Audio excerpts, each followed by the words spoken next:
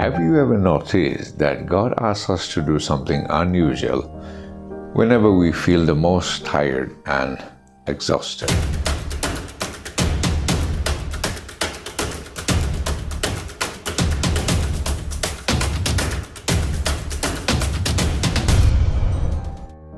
That is when the Lord Almighty said to the Israelites, Not by might, nor by power, but by my Spirit.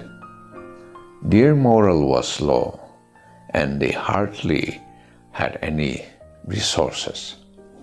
But God was calling them to a massive project, rebuilding the temple at Jerusalem from ashes. God reminded them that without God's resources, this project will not be completed. That is why we are reminded even today that we need to depend on God's Spirit to reach our destination.